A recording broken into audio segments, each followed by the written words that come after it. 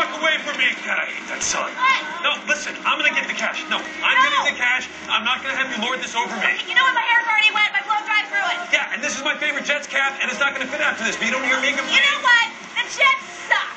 Okay. Rex Ryan is turning them around. Oh, you're a fool. You know what? What?